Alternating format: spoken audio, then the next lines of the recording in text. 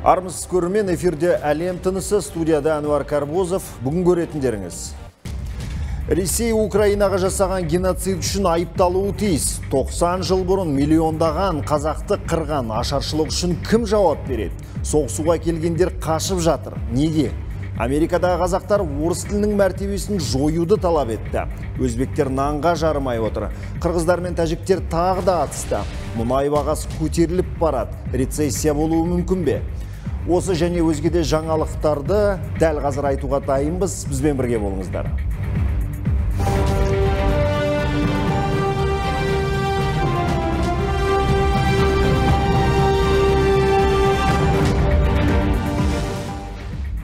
әрқайсына рет ретімен тоқталсақ мамырдың 31-і қазақстан халқы саяси қуғын сүргін және ашаршылық құрбандарын еске алды халқымыздың басына түскен нәубетке биыл 90 жыл миллиондаған қазақты қырып салған ашаршылық үшін кім жауап береді? Ресей ме?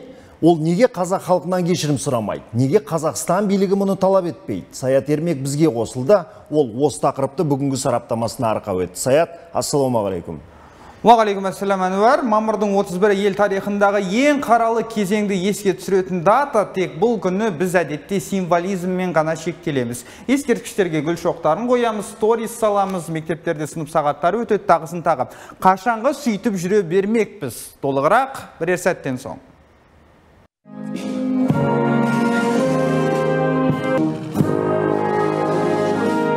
үнсіздік жарияланады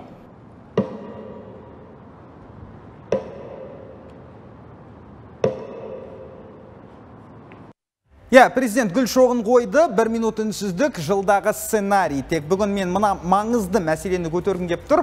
30 жылдардағы жұтта кем дегенде 1 миллион қазақ қырылды деседі. Бұл сұмдық үшін кім жауап береді?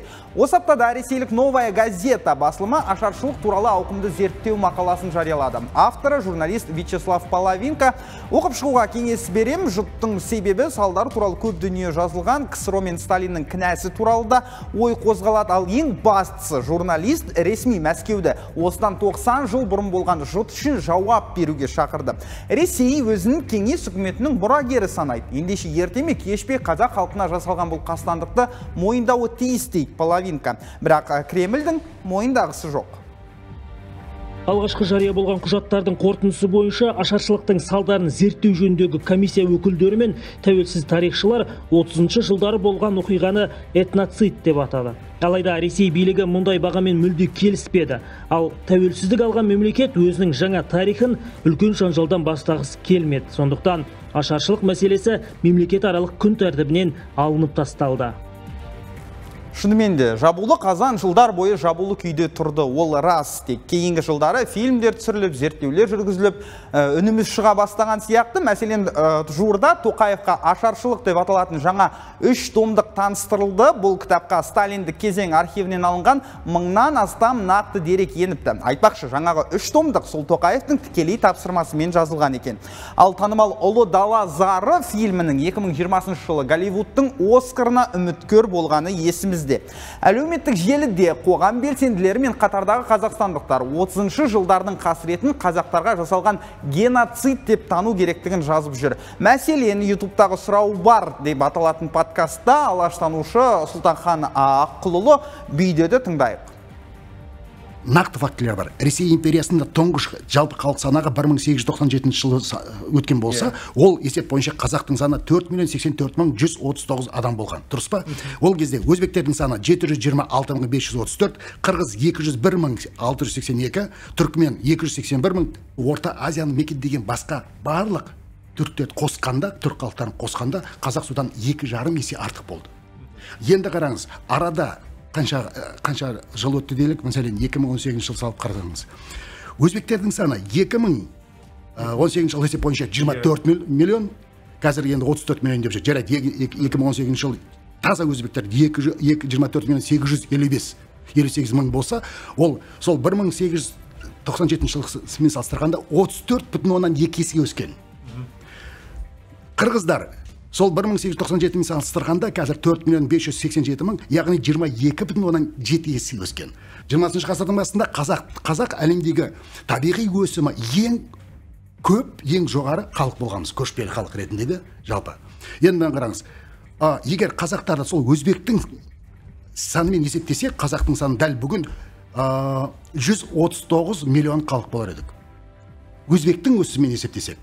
Одан төменірек қырғыздың өсімімен есептесек қазақтың саны ол кезде 92 миллион болар едік. Міне осылай есептен кейін ашаршылық кезінде қазақтың қанша пайызы қырылды дегенге жауап бере аласыз. Ол кем дегенде жетпіс пайызынан айырылдық. Біріккен ұлттар ұйымының құжаттарына сәйкес 3-4 пункт бойынша ашаршылықты геноцид деп мойындауға толық негіз бар. Алайда біздің билік мұны талап етіп жатқан жоқ. Ал кремль үнсіз керісінше жұрттың болғанын жоққа шығарып жатқан ресей тарихшылары баршылық көп еңбектерде көрші ел ғалымдары идеологияға бет бұрып сталиннің ұжымдастыру туралы идеясы дұрыс еді. Ол тәп тәуір тапсырмалар берген. Алайда жер жерде оның бұйрығы бұрмаланып қатыгездікке ұласты деп жазып жатыр. Яки өздерің дегені ғой. Ресейдің ресми тарихы ашаршылыққа мүлдем назар аудармауды әсіресе қазақстандағы жұт үшін мәскеуді айыптамауды ұсынады. Ресейлік зерттеушілер өз еңбектерінде украинадағы ашаршылықтың халықаралық деңгейде мойындалғанын құптамайды және қазақстандағы ашаршылықтың ұмытылуы олар үшін ең жақсы нұсқа. Бірақ қазақстан бұл туралы ұмытпайды. Президенттік комиссия барлық фактілерді қалпына келтіруді. Соның ішінде аштықтан аман қалған адамдардың немесе олардың туыстарының куәліктерін жинауды мақсат етіп отыр. Барлық фактілер республиканың қолында болған кезде трагедиядан бас тартуды жөн көрген елмен әңгіме басқа болары анық. Қазіргі саяси жағдайға қарайтын болсақ, Ресейдің Қазақстаннан кешірім сұрамайтыны айдан анық, жасыратыны жоқ, Қазақстан билігінің де кешірім сұраңдар деп талап қоятын қауқары жоқ. Өтемақы туралы сөз қозғау тіпті ерте, бірақ біз үшін ақша емес, ақтаңдықтар ақиқатының айтылып, тарихи әділдіктің орнағаны маңызды. Мәселен, Германия екі дүниежүзілік соғыс пен Холокост үшін кешірім сұрады. Әлі күнге дейін сұрап келеді. Репарацияларын төлеп жатыр. Бұл ел өз тарихының бұл қаралы кезеңін мойындады. Менің айтқым кеп тұрғаны не? Халықтарға, ұлттарға қарсы мұндай қастандықтар әлемде болды. Бұл үшін жауапкершілік қазіргі ұрпақтың емес, кезінде миллиондаған адамды қырып тастаған басшылардың мойнында.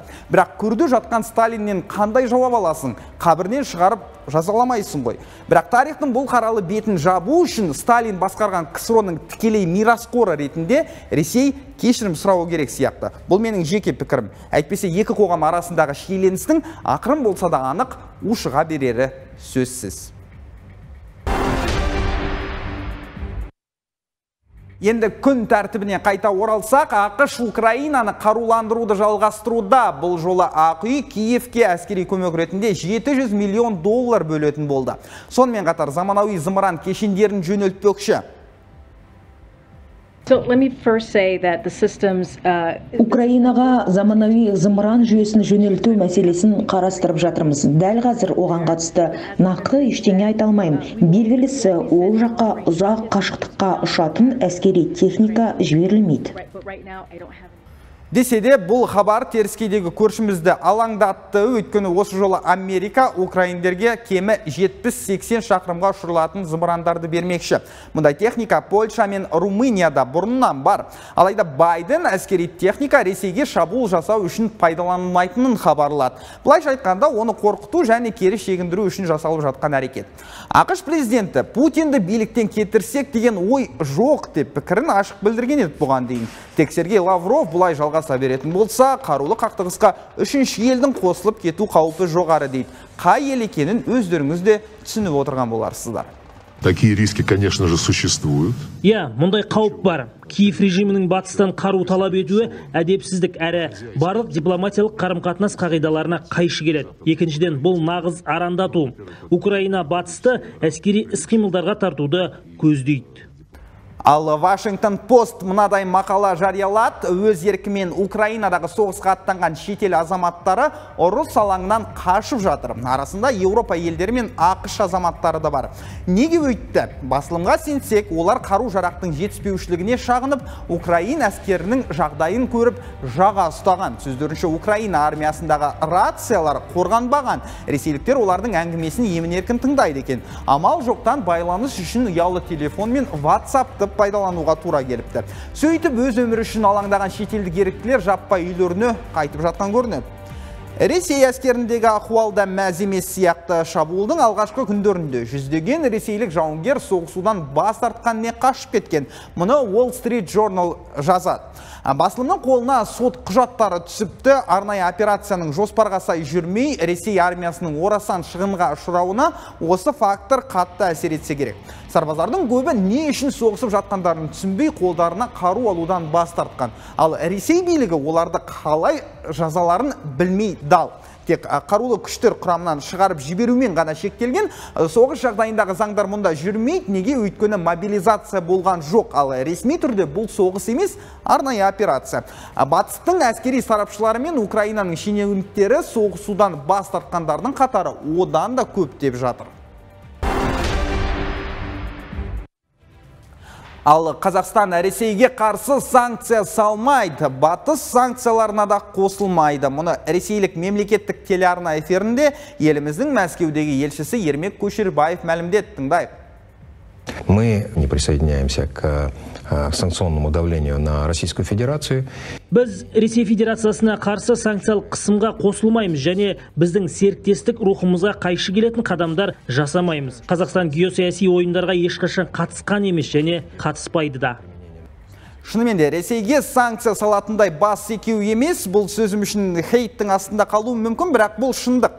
Я, біздің билік Путиннің әрекетін құптамайды. Украинаның аумақтық тұтастығын мойындайды, Донецк пен Луганск республикаларының тәуелсіздігін танымайды. Қос тараптың мәселені қан төгіссіз келіссөздер арқылы шешкенін қалайды. Бұл ресми позиция, ал бұдан әрге бару қауіпті. Өйткені алпауыт көршіміздің қаһары былай тұрсын, экономикалық дағдарыстың қыспағында қалатынымыз белгілі. Мұны Ақ Ордадағылар жақсы түсінеді. Тіпті президенттің өзі еуразиялық экономикалық одақтан да одкб дан да шықпайтынымызды ашық айтқан еді. Әрине мұндай геосаяси ойындардан алыс болған дұрыс та шығар. Тек қашан біз кремльдің құрсауынан босап тәуелсіз саясат жүргіземіз?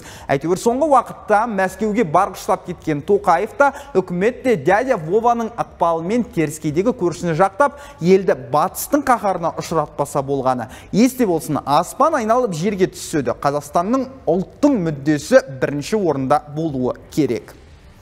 Ал мемлекеттік тіл мәселесі ел ішіндегі қазақтардан бөлек мұхиттың арғы жағындағы отандастарымызды да алаңдата бастаған. Америкада тұратын қазақ қауымы конституциядан орыс тілінің мәртебесін алып тастауды өтініп, Тоқаев үкімет пен парламентке ашық хат жолдады.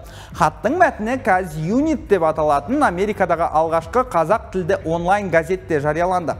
ақштағы қазақ диаспорасының өкілдері ана тіліміздің тағдырына алаңдайды екен. Қандай да бір шаруалар мен Қазақстанға барғанда өз тілімізде қызмет көрсетілмейді деп қынжылады. Жаңағы Казюнит газеті әлеуметтік зерттеу де жүргізіпті. Сонда қазақ тілінде сөйлейтін қазақстандықтардың 81 пайызы мемлекеттік тілде ақпарат, қызмет алу құқығы тапталып жүргенін айтқан. Ал сауалнамаға қатысқандардың 90 пайыздан астамы қазақ тілі Қазақстан тәуелсіздігінің қастерлі бір құндылығы деп санайды екен.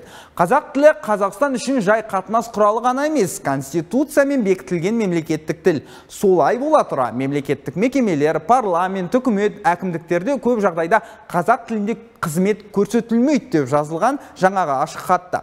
Барлық демократиялық елде конституциямен бекітілген мемлекеттік тіл қатаң қорғалады өз деңгейінде қолданылады. Ал қазақстанда мемлекеттік тілдің қызметін көп жағдайда ресми тіл деп аталған орыс тілі атқарып келеді. Бұл мемлекеттік тілдің өз мәртебесіне сай қолданылуына дамуына кедергі келтіреді делінген. Сондықтан ақштағы қазақ диаспорасының өкілдері конституцияны өзгертіп ата заңнан орыс тілі ресми тіл деген нұсқаны алып тастауды сұрады. Мен бұл хатты оқып әнуар бір жағынан қуандым екінші жағынан күрсіндім. Неге? Қуантқаны мұхиттың ар жағында тұрып жатқан қандастардың тіл тағдырына алаңдауы. Алаңдап қана қоймай ойын ел билігіне ашық жеткізуі былайша айтқанда. Ал неге күрсіндім десең олардың бұл ашық хаты сол ашық хат күйінде қалып қоятын сияқты. Референдум бүгін өтіп кетті өзің білесің. Ал конституцияға енгізілетін өзгерістердің қатарында орыс тілінің мәртебесін алып тастау деген тармақ жоқ. Бұған дейін тоқаев та орыс тілі ресми тіл статусында қалады дегенді ашық айтқан еді. Менің орыс тіліне еш қарсылығым жоқ. Тек қазақ тілі бәріне міндетті болса деймін құжаттардың бәрі қазақ тілінде жүргізілсе деймін. Ресейден қашып қазақстанға келген даня милохин сияқты тиктокер блогерлер қазақстанда қазақ тілін білмей ақ қоюға болады деп көсілмесе деймін. Тек мінбердегілердің ішінен бізді тыңдар бір құлақ. Табылса ғой шіркін. Саят көп рахмет. Өте өзекті тақырып. Енді осы жақын күндері тағы мынадай мәселені оқыдым. Ресей мен беларусь ә, спортшылары мынау санкцияның салдарынан қатты қиналып жатыр екен. Енді олар өздерін қазақстанның атынан үлкен жарыстарға шығып байрақты бәсекеде енді білмеймін ә, ресейдің бе қазақстанның ба намысын қорғамақ. Жалпы ресей спортшылары біздің құрамда қазақстанның құрамасында өнер көрсетпек екен. Бұл мәселеге қатысты ойың қандай? Иә жаңа ғана оқып жатырмын ә, ресей мен беларуське қарсы салынған санкциялардың кесірінен бұл елдің спортшылары барлық ә, әлемдік біріншіліктер мен жарыстардан ә, қалыс қалады екен шеттетіліпті. Бірақ мәдениет және спорт министрлігінің хабарлауынша бұл ел спортшыларынан жазбаша өтініш әлі түспепті. Олар тек ауызша қазақстан құрамасында өнер көрсетуге ниет білдірген екен.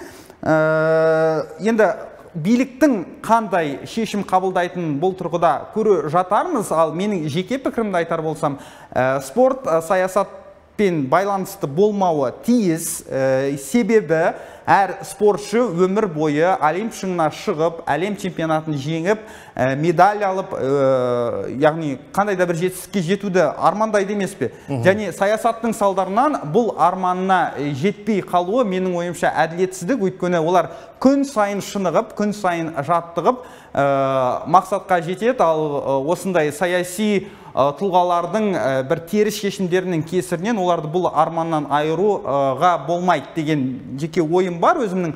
Ал қабылдау керек пе құрамаға деген сұраққа келетін болсақ менің ойымша неге қабылдамасқа? Өйткені бұл жерде бұл спортшылардың ешқандай кінәсі жоқ және оларға өнер көрсетіп өзінің мүмкіндіктерін әлемге паш етерлік мүмкіндік беруі тиіс. Беруіміз тиіс деп ойлаймын. Енді қайталап айтайын біздің биліктің қандай шешім шығаратынын алдағы уақытта көре жатармыз. Мен бұл тақырыпты өз назарымда ұстайтын боламын әнуар.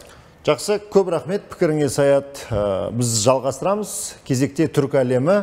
Бұл жақта да өте маңызды мәселелер болып жатыр. Мәселен өзбекстанда нанға талас басталды. Жаппай емес енді. Ферғанада ас атасының бағасы қатты шарықтап кеткен.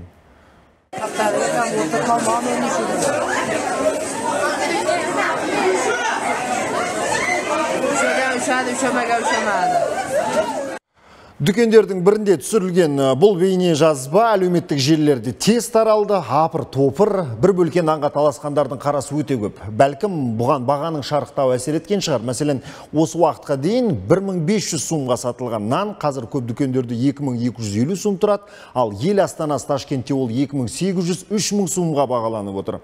Түсінікті болу үшін 1500 сумыңыз бұл біздің ақшаға айналдырғанда 60 теңге төңірегінде болса 2800 сумыңыз 110 теңге яғни екі есе қымбаттаған.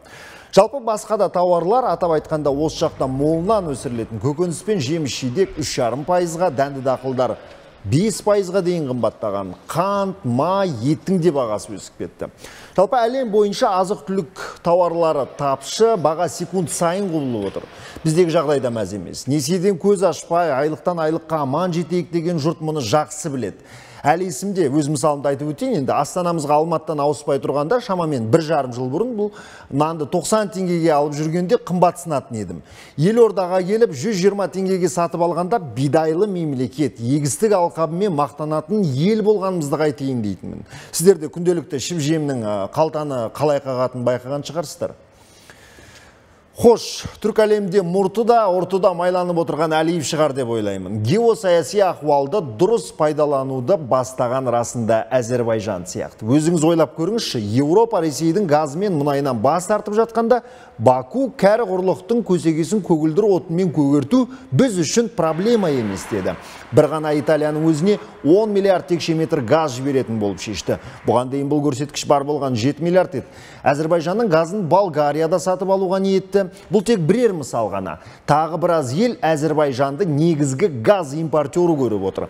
Жалпы Баку экспорт көлемін ағымдағы жылы 20 миллиардқа жеткіземіз деп жариялаған еді ресейге бәсеке емеспіз деген ел саудаларын ретке келтіріп алды Қымбатты көрермен, сіз білесіз бе, газ бойынша әлемдік рейтингте біз 15 орындамыз. Ал Әзербайжан Қазақстаннан 11 саты төмен тұр. Қаперлеріңізде жүрсен дегенім ғой. Еуропаға бізде газ сатып байып жатса қалай болар еді деп топшылап қоямын. Жалпы Әзербайжанның жағдайы жақсы. Бауырлас ел Армениямен арадағы кикілжіңде жеңіске жетуге бір табан жақын түсті. Жуырда келісім орнайды деген хабарда бар. Түріктерде қолдауды күшейтті. Ердоғанның өзі қанша барды Алиевпен жүздесуге. Қарумен қамтамасыз етіп отыр. Үлкен ағасы секілді болып көрінеді сырттан қарасаң. Біреу тисе, мен көкесін көзіне көрсетем деп тұрған сияқты. Байқайсыздар ма? Жалпы түріктер өте бауырмал туысқандық танытып қазақтарға да кардешім деп қояды. Бірақ кей ислам мемлекеттеріне әлде болса тізе батыруын тоқтатар емес. Сирия мен иракты айтамын. Түріктер қазір мұндағы күрдтермен күресіп арнайы операцияны бастағандарын ресми түрде мәлімдеді. Былай қарасаң тура ресей украина арасындағы жағдай. Кей сарапшылар екеуін шатастырма мұндағы жағдай мүлде басқа деп айтуы мүмкін. Бірақ ердоған да путин де арнайы операцияны бастап террористтермен ұлтшылдармен күресіп келеді. Соңы қалай боларын уақыт көрсете жатар? Бейкүнә халықтың босып жазықсыз қырылып жатқандарды көргенде олардың обалы кімге деген сауал маза бермейді Хош, Түркия қазір әлемдік аренада үстемдігін арттырғысы келетіні анық. НАТОға Финляндия мен Швецияның мүше болған қаламайды, тығып ұстап отырған террористерді бермейінше, жалпақ тілмен айтсақ, әрі жүріңдер деді. Байрақтар мен анка дрондарын білетін едік. Енді Гөкдоган және Боздоған деген зымырандарын жасап жатыр. Тыныштық кеткен заманда бес қаруын сайлап тас түйін дайын отыр. Имиджін арттырып, ел атауында өзгертті. Енді халықаралық қауымдастық бұл елді Түркия емес, Түркия деп атайды. Онда біле жүріңіздер. Біріккен ұлттар ұйымы да қарсы болмай бірден елдің жаңа атауын мақұлдады. Бұрынғысы ағылшын тілінен аударғанда Turkey, яғни күркетауық деген мағынаны білдіретін еді. Жаңа атау мұндай қисынсыз аудармалардан ада болып, түріктердің ұлттық құндылықтарын барынша дәріптеуге үлкен септік болады дейді ел президенті түрік ұлтының құндылықтарына және оның терең тарихына көп көңіл бөле отырып түркия атауы ұлттық және халықаралық бақта еліміздің бренді ретінде қабылданады деп сенемін Біз де стан деген жалғаудан арылып, қазақия, қазақ елі болсын деп айтып жүредік. Қазір осы ұсынысты көп естімейтін болдым өз басым. Кириллицадан кетіп, латынша кюмен жазуымыз керек деп белсенділікте танытқан едік. Анығында жаныма жақын келетіні мен үшін әрине қазақ елі атауы. Бұл менің субъективті пікірім, ал сізге қай ұнайды? Еліміздің халықаралық аренада қалай аталғаны дұрыс болар еді. Сіздің пікіріңіз біз үшін әдеттегідей өте маңызды. Қош, көршілес елдер бір-бірін демеп жатқанда енді біреулері бір-біріне тіс қайрап қару кезеуде. Қырғызстан мен Тәжікстанды айтамын.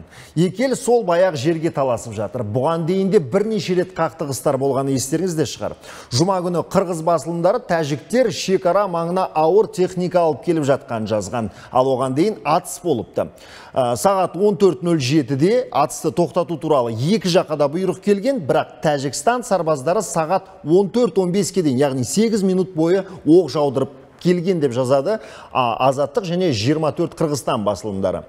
Негізі қырғызстан мен тәжікстан шекарасының ұзындығы 970 шақырымды құрайды. Оның 519 шақырымы белгіленген қалғаны нақтыланбаған. Кикілжің осы мәселеге байланысты туындайтыны түсінікті. Құдай қарулы қақтығыстың бетін аулақ қылсын, бірақ соңғы дау кезінде тараптар мәмілеге келдік дегенмен жағдай әлде болса түзелер емес. Қырғыздар демекші, өткенде есірткіні заңдастыру керек деп жүреді жоғарғы кеңеш депутаттары. Бұл жолда тағы бір қызық. Депутат пен ұлттық қауіпсіздік комитеті басшысының арасында қандай мысық жүгіріп өткені белгісіз, бірақ мінбердегілер лауазымы төмендеу азаматтарға қоқан-лоққы көрсету қалыпты жағдай деп санайтын сияқты. Депутат Адахан Мадумаров пен ұлттық қауіпсіздік комитет төрағасы Камчибек Ташиевтің мәжілістегі текетересіне назар аударайықшы. Мақұл бербей қойдыңар эмне болот?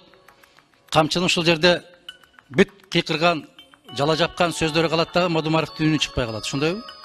Биринчиден мен сизге кыйырган жокмун. Мен камчы эмесмин сизге. Колуңду кезебегин колуңду сындырып коем колуңду сындырып коем биринчиден. Экинчиден жакшы мына өткөндө урматтуу. депутаттар тиги эме бербей согласие бербей камалбай калдым эгер мен ген прокурор болгондо давно камалат болчумун сактаңыздар еще не поздно. Таныс бола жүріңіздер адахан мадумаров тағы бір қырғыз депутаты. 2010 жылға дейін әлеуметтік қордың төрағасы және қаржы министрі қызметін атқарған. 2010 жылы атажұрт тізімі бойынша депутат болды бірақ ол фракцияның да партияның да мүшесі емес екенін айтты сол кезде. Үкімет үйін қымбат жаңғақ ағашымен жөндейміз деп бастауға қалған. 2010 жылы бутун қырғызстан яғни бүтін қырғызстан партиясының белсендісі болып президенттік сайлауда екінші орын алды. 2015 жылға парламенттік сайлауға мгек партиясымен бірікті бірақ қайта жоғарғы кеңешке өте алмады. Манумаров бірнеше рет прокуратураға шақырылып, бір қатар іс бойынша жауап алынған одан, осы жолы комитет төрағасы Қамчыбек Ташиев деген дөкейді депутаттар жан жақтан жұлмалады. Көрейікші. бірінші сұрағым ол ә, біздің ә, российский база жылына қанша төлейді? Түсінбедім қайсы российский? Российский база. Қанттағы қанша да ақша төлейді жылына маалымат жоқ бізде ана министр финансов жана ә, өкмөт башчысы ғана берет аған Бізде министр финансы бар да Қырғызстанның Қант өлкесінде орналасқан Ресейдің әскери базасы, яғни депутаттың айтып отырғаны. Бұл базаның іргелес елде орналасу үшін Ресей Қырғызстанға қанша ақша төледі екен расында. Жауапты қаржы министрі біледі деген Тәшиев бірден осы ведомствоны басқаратын министрге көзін қысты. Неге? Қандай шикілік бар мұнда? маалымат жоқ бізде жауапкершілер бар ба финанс министрі мен Ташиев көзін қысып жатқан өзгелер байқамады деп ойласа керек. Бірақ қырғыз бұқаралық ақпарат құралдарында бұл видео қызу талқыланып жатыр. Біз білмейтін бір ақиқат бары анық. Айтпақшы еске түскен тағы бір мәселе бар. Өзбекстан мен Тәжікстан бұдан былай айнымас, мәңгі тату серіктес болды.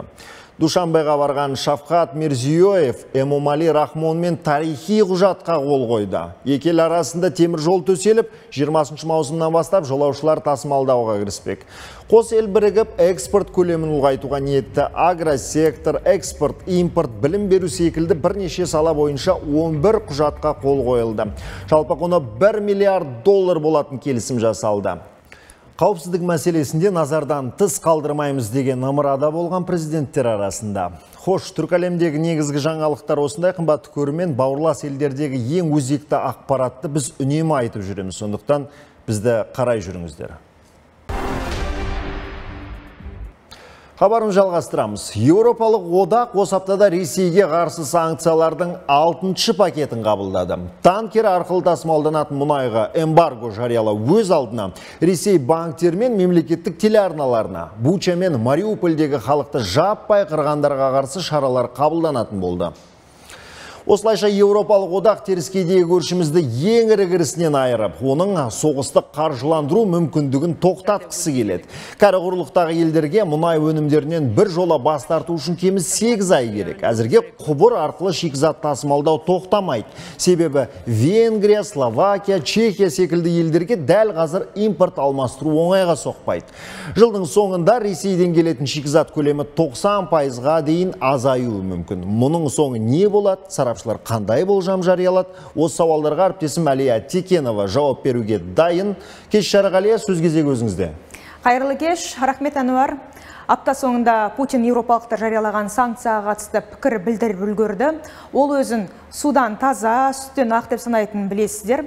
Әлемдік нарықта шикізаттың соңынан азық-түліктің қымбаттауына әскери операцияның еш қатысы жоқ. Оған шолақ ойлайтын батыс саясаткерлері кінәлі. Барлық айыпты бізге жабу негізсіз деп сұхбат берді. Оның пікірінше айлақтардың жабылып Украинаның сыртқа бидай жөнелте алмай қалуына Ресейдің еш қатысы жоқ. Ол жерлерге жарылғыш зат жасырған украиндердің өзін айыптау керек. Олар тауарын экспортқа Беларусь арқылы шығара алады. Бастысы Еуропа санкцияларды алып тастаса, мәселе шешіледі деді. Осылай сұхбат берген Путин азық-түлік тапшылығын жойып, мұнай мен газ арзандасын десеңдер, Ресей мен Беларуське қарсы салған санкциялар алынып тасталсын деген емеурін танытты. недальновидная политика европейских странах прежде всего. Еуропа елдерінің шолақ ойлы саясаткерлерінің кесірінен қуат көздерінің бағасы аспандап кетті. Олар газ тасымалдауға арналған ұзақ мерзімді келісім шарттарды сақтайық деген біздің ұсынысқа құлақ аспады. Газ қымбаттап кетіп еді, тыңайтқыштардың да бағасы шарықтады. Өйткені бәрі бір-бірімен тығыз байланысты. Осының бәріне Ресей кінәлі деп батыс бізді айыптайды. Біз бәрін алдын ала ескерттік. Серіктестеріміз көп қате жасады. Енді бәрін бізге жауып отыр. Жағдай уақыт өткен сайын қиындай түседі. Тыңайтқыш жетпеген соң бидай бітік шықпайды. Бұл азық түлік бағасы тағы да өседі деген сөз. Мұның барлығы ақымақ саясаттың салдары. Ресейдің энергия ресурстарына тәуелді Еуропа қазір импорт алмастырудың барлық амалын жасауда. Күн сайын келіп тұрған 2,5 миллион баррель шикізаттан бас тарту оңай емес. Теріскедегі көршіміз эмбарго салдарынан бір жылда 22 миллиардтан қағылады. Қара алтынның бағасы шарықтап тұрған сәтті оңтайлы пайдаланып қалғысы келген Ресей қазір оңтүстік шығыс Азиядағы тұтынушыларына мұнайды арзанға жеңілдік жасап сатуға кіріскен. Мәселен, Үндістан соғыс басталғалы үш айдың ішінде Ресейден 34 миллион баррель мұнай сатып алған. Бұл өткен жылдың осы кезеңіндегі көрсеткішпен салыстырғанда 10 есе көп теріскейдегі көршіміз юралс деп аталатын шикізатын арзанға экспорттай бастағаны белгілі. Оның бағасы брендтікінен 30 долларға төмен.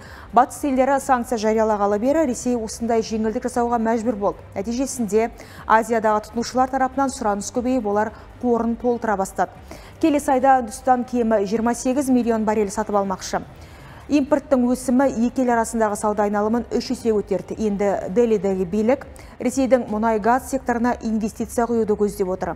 Осылайша ұзақ мерзімге арналған келісім жасағылар келеді. Осы аптада жасалған тағы бір маңызды келісім опек плюс ұйымы құрамына енетін елдер шілде және тамыз айларында өндіріс қуатын арттыратын болды. Бастапқыда оның көлемі 432 мың болса кейін квота күніне 648 мың баррель деп белгіленді.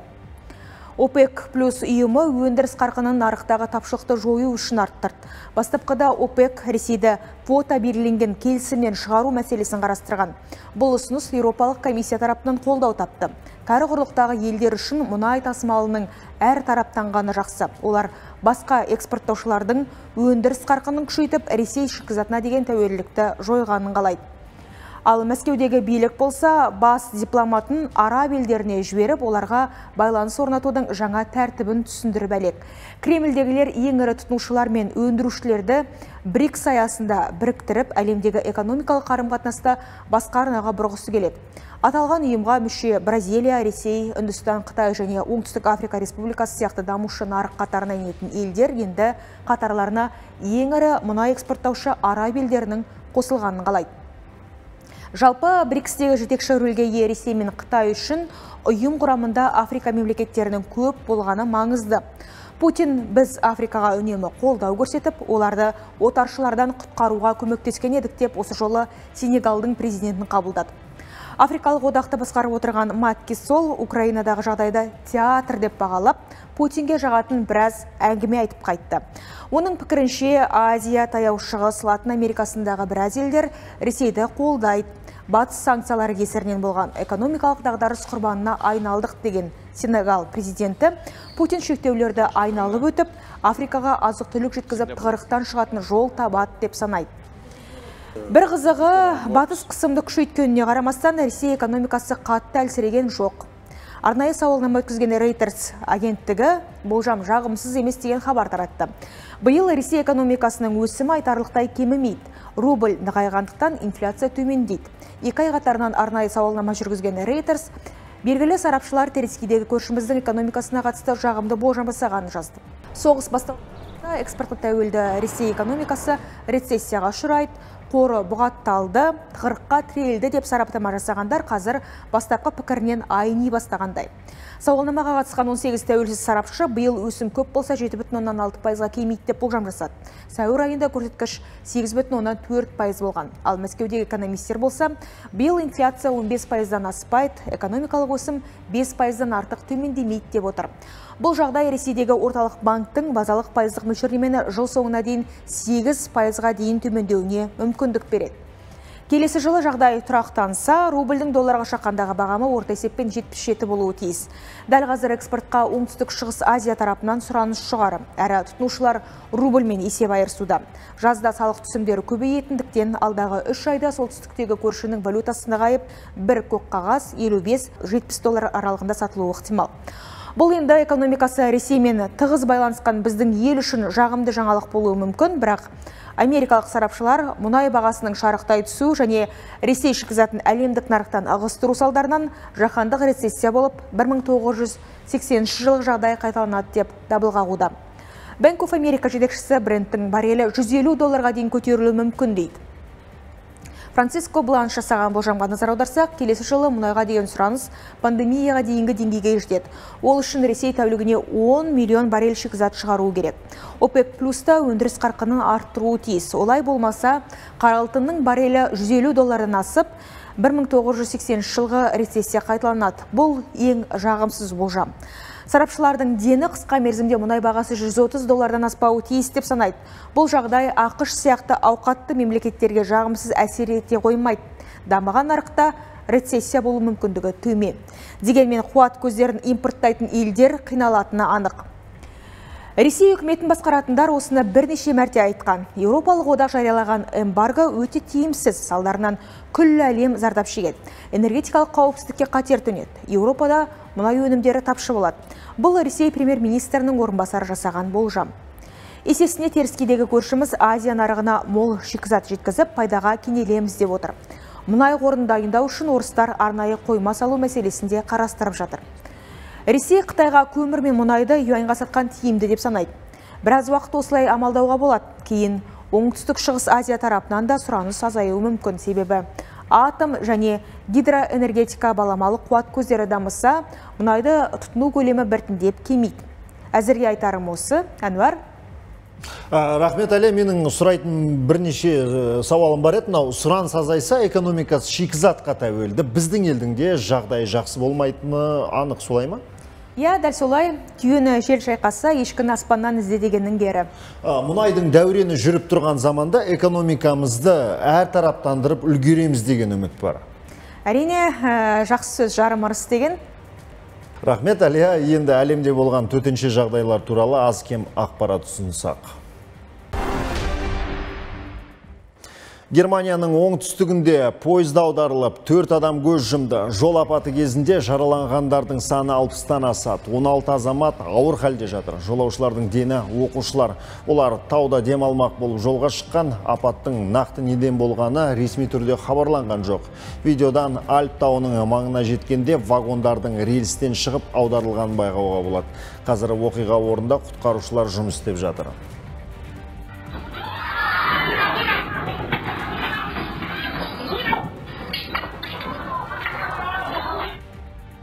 Қытайдың Сычуан провинциясында қуаты 6 балдық жер сілкінісі болып 4 адам жан тапсырды. 14 азамат ауыр жарақат алып ауруханаға түскен. Елді мекендегі телекоммуникация желілері үзілді. Қазір байланысты қалыпқа келтіру жұмыстары жүргізілуде. Құтқарушылар зілзала кезінде қираған ғимараттарды тексеріп, зардап шеккен халыққа көмектесіп жатыр.